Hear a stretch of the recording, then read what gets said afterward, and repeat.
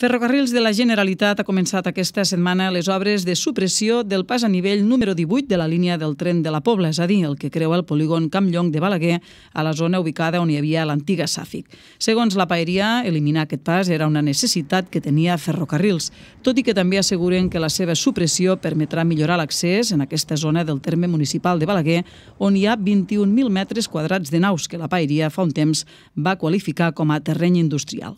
Ferrocarrils va treure el projecte projecte a licitació a finals de l'any 2021 amb un projecte de gairebé un milió i mig d'euros i un termini d'execució de 10 mesos. El projecte contempla la creació d'una plataforma sobre el canal de Balaguer i la línia de ferrocarril que millorarà la seguretat dels usuaris en aquest punt i també l'accés al polígon industrial. La nova plataforma, que tindrà una longitud de 25 metres, també facilitarà el pas de vianants en els dos laterals de la via amb una vorera de més de 2 metres d'ample.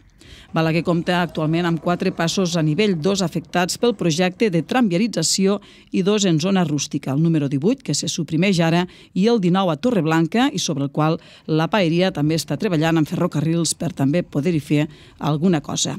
La línia de la Pobla té actualment 20 passos a nivell, dels quals 13 són amb barreres i senyalització acústica i lluminosa, mentre que uns altres 7 manquen de barreres i només tenen senyals de llum i so.